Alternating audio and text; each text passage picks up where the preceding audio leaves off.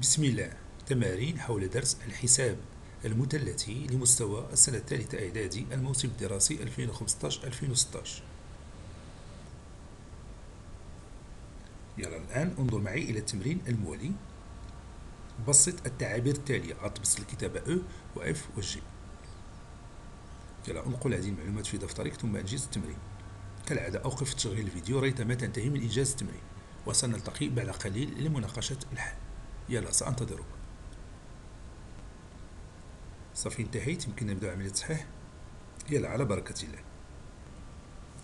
يلا نبسط الكتابة أو إذا نظرت مليا إلى هذه الحدود المكونة لهذه الكتابة الرياضية تجد أن هناك علاقات بين الزوايا المدرجة هنا. بحال مثل الزاوية التي قياسها 72 درجة. هذه. ها؟ كاين زاوية أخرى. مرتبطة بها في رأيك ترى ما هي؟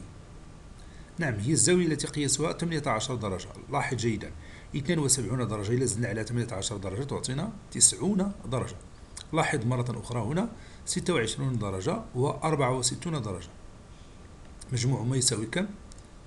نعم يساوي 90 درجة إذا يمكننا نحول السينوس إلى الكوسينوس ها؟ إذا كنا نتوفر على زاويتين متتامتين أي مجموع قياسيهما 90 درجة متفقين؟ إذا فنكتب نخليو مرحلة التحويل حتى المرة آه، السطر الموالي. غادي نكتبو فقط الآن أو سنعيد ترتيب هذه الحدود بهذه الكيفية. زائد 11 كوسينوس مربع 26 درجة. زائد 11 كوسينوس مربع 64 درجة. إذا لاحظت عمليا هنا كاين واحد العامل مشترك. ترى ما هو؟ فعلا هو العدد خمسة. نقدروا نعملوا به نكتبوا خمسة عامل لسينوس مربع 72 درجة. زائد سينوس مربع 18 درجة. زائد. هنا أيضا عندنا عامل مشترك آخر. ترى ما هو؟ نعم هو العدد 11 نعملوا به 11 عامل لكوسينوس مربع 26 درجة زائد كوسينوس مربع 64 درجة. يساوي. الآن عاد نطبقوا فكرة ديال تحويل السينوس إلى الكوسينوس. بحال مثلا سينوس 72 درجة نقدروا نكتبوه كوسينوس كم؟ نعم كوسينوس 18 درجة. ونوضعوا الأس ديالنا اللي عندنا سابقا. زائد سينوس مربع 18 درجة نفس الشيء بالنسبة للكوسينوس 26 درجة نقدروا نعوضوه بسينوس ماذا؟ نعم سينوس 64 درجة زائد cosinus مربع 64 درجة هنا عندنا cosinus مربع 18 زائد sinus مربع 18 درجة يساوي ماذا؟ نعم يساوي واحد وهنا أيضا هذا المجموع يساوي ماذا؟ نعم يساوي واحد. دائما sinus مربع ألفا زائد cosinus مربع ألفا يساوي واحد. متفقين؟ وخمسة زائد إحدى عشر تساوي ستة عشر. انتهى. نواصل. نشوف الآن المثال الموالي انظر مليا هنا إلى هذه الأعداد أو هذه الحدود. انظر هنا عندنا هنا 23 درجة. أين هي الزاوية التي تتمها. بحيث يكون المجموع 90 درجة موجودة هنا أيضا. نعم هي الزاوية التي قياسها 67 درجة هما الزاويتان متتامتان. 23 درجة إلى زدنا عليها 67 درجة تعطينا 90 درجة. إذا غادي ناخذ هذا الحد ونوضعوه بجانب الحد الأول في انتظار المرحلة الموالية. ثم انظر هنا. هنا عندنا 33 درجة وهنا عندنا 57 درجة والمجموع يساوي كم؟ نعم يساوي 90 درجة. من هنا تأتي فكرة كتابة هذا المجموع بهذه الطريقة. إذا 11 على 3 سينوس مربع 23 درجة ونضع بجانبها 11 على 3 سينوس مربع 67 درجة.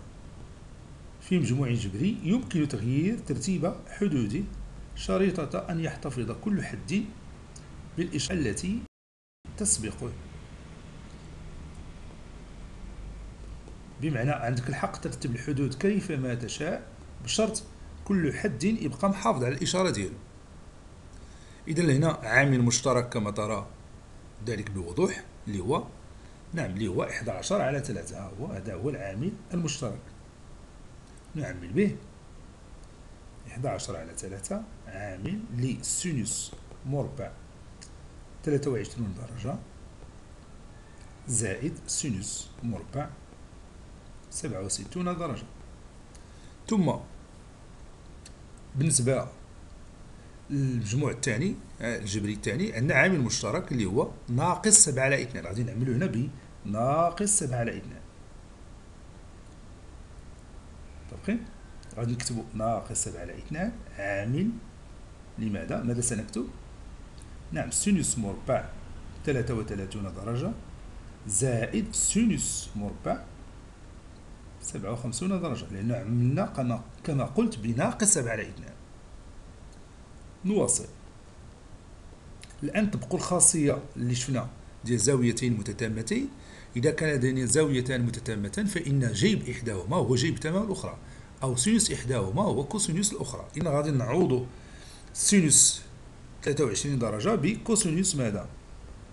نعم بكوسينوس 67 درجة. ثم نضع الأس ديالنا اللي عندنا سابقا. زائد سينوس مربع 67 درجة ناقص 7 على 2 ثم نعوض سينوس 33 درجة ب نعم بكوسينوس الزاوية التي تتممها اللي هي الزاوية التي قياسها 57 درجة. ثم نضع الأس 2 اللي كان عندنا أصلا. زائد سينوس مربع 57 درجة. الآن هذا المجموع كما تعلم يساوي ماذا؟ نعم يساوي واحد والمجموع الثاني يساوي واحد أيضا. إذا سنكتب إحدى عشر على ثلاثة في واحد ناقص سبعة على اثنان في واحد. نوحد المقامين ما هو المقام واحد؟ نعم هو ستة اللي عندنا هنايا اثنين وعشرون على ستة ناقص واحد وعشرون على ستة. والفرق هو العدد واحد على ستة. متفقين؟ السؤال الأخير. يلا. مرة أخرى غادي نقوم بنفس الملاحظة اللي قمنا بها سابقا. شوف هنا انظر جيدا. هنا عندنا 44 درجة وهنا عندنا 46 درجة. قياسي زاويتين متتامتين. متفقين؟ المجموع كما ترى يساوي 90 درجة. هنا عندنا 86 درجة وهنا عندنا 4 درجات. والمجموع يساوي كم؟ 90 درجة. إذا الطونجونت ديال 86 درجة هو واحد على الطونجونت ماذا؟ واحد على الطونجونت أربعة درجة إذا كان لدينا زاويتان متتامتان فإن ظل إحداهما اللي هو الطونجونت ظل إحداهما هو مقلوب ظل الأخرى أي واحد على الطونجونت الأخرى. متفقين؟ وفي نفس الوقت هنا غادي نحاولوا نتخلصوا من الجذر المربع من المقام. فنكتب النتيجة التالية. عشرة على جذر مربع خمسة نقدر نكتبوه عشرة جذر مربع خمسة على خمسة. بعد التخلص من الجذر المربع من المقام. نضع بجانبها اثنان مربع خمسة كوسينوس مربع ستة وأربعون درجة. ناقص مربع عشرون نقدر نبسطوها هي اثنان مربع خمسة. والطونجونت ستة وثمانين درجة هي واحد على طونجونت أربع درجات. ستة وثمانين زدنا عليها أربعة درجات غتعطينا تسعين درجة. إذا هنا كاين اختزال ها هو. بيبقى لنا فقط ناقص اثنان جذر مربع خمسة. نبسطو الآن هذه الكتابة عشرة على خمسة وهي العدد اثنان. إذن غادي تولي عندنا اثنان جذر مربع خمسة. ها هي. كوسينوس مربع أربعة وأربعون درجة. زائد اثنان جذر مربع خمسة. كوسينوس مربع ستة وأربعون درجة. ثم ناقص اثنان جذر مربع خمسة اللي بقات عندنا في هذا الجدول إذا إذا نظرت مليا إلى هذه الكتابة نجد أن هناك عامل مشترك اللي هو ماذا؟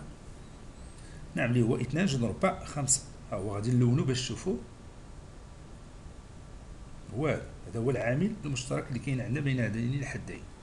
العامل لكوسينوس مربع أربعة وأربعون درجة زائد كوسينوس مربع ستة وأربعون درجة.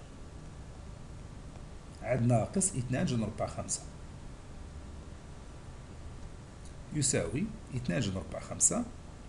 الآن نحول الكوسينوس إلى السينوس كوسينوس أربعة وأربعون درجة هو السينوس ماذا؟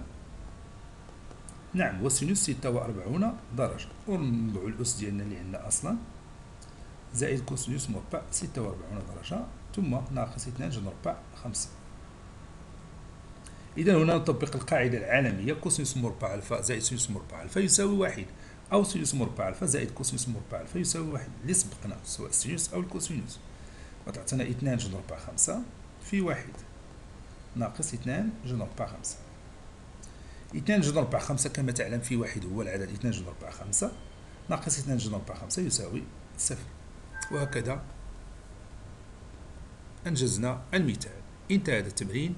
من إعداد أستاذ عبدو إعدادية الصفاء مراكش إلى اللقاء.